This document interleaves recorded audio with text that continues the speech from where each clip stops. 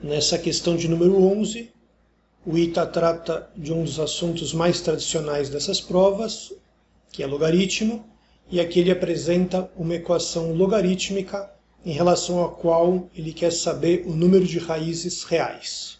Portanto, vamos colocar o nosso foco. A gente procura as raízes reais, ou na verdade, né, o número delas.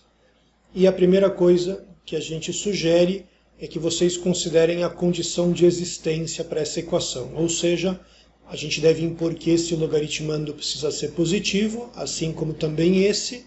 e com isso a gente já garante que o x tem que ser maior do que 0,75 para que essa equação nos números reais tenha sentido. Agora, eu vou, por exemplo, tratar do lado esquerdo dessa equação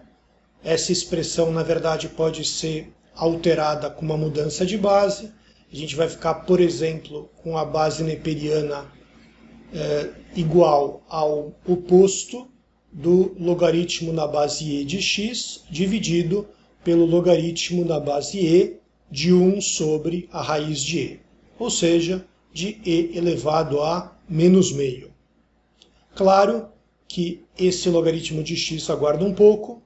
esse daqui por propriedade de logaritmo, assunto que a gente trata a partir da seção 13 do nosso preparatório. A gente fica com menos meio que multiplica o logaritmo neperiano de e. Portanto, menos meio que multiplica 1. Portanto, o menos meio cancela esse menos, o 2 vai para o numerador, e portanto a gente fica, claro, com duas vezes o logaritmo neperiano de x. Basta agora perceber que isso pode ser expresso como, por exemplo, logaritmo de x ao quadrado,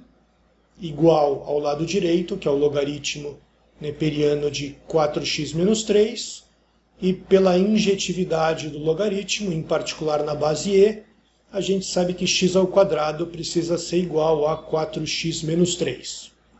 o que é equivalente x ao quadrado menos 4x mais 3 precisa ser igual a zero, e a gente cai numa equação de segundo grau na variável x, assumidamente por conta do foco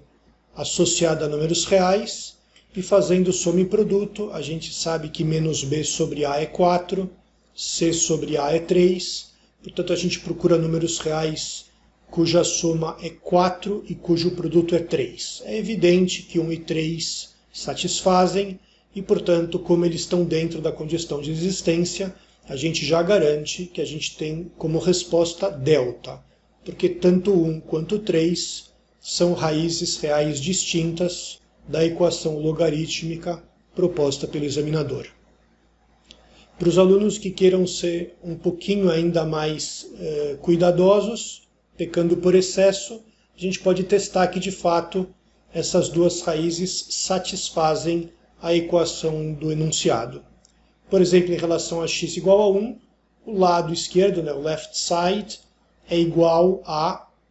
duas vezes o logaritmo neperiano de 1.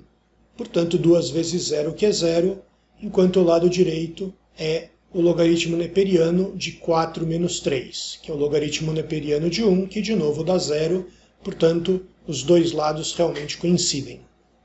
Em relação a x igual a 3, Percebam que aqui a gente tem duas vezes o logaritmo neperiano de 3, e em relação ao lado direito, a gente tem o logaritmo neperiano de 12 menos 3, que é 9. E como logaritmo neperiano de 3 vezes 2 é logaritmo neperiano de 3 ao quadrado, mais uma vez a gente confirma que o lado esquerdo é igual ao lado direito, garantindo que 3 também é raiz da equação apresentada pelo examinador.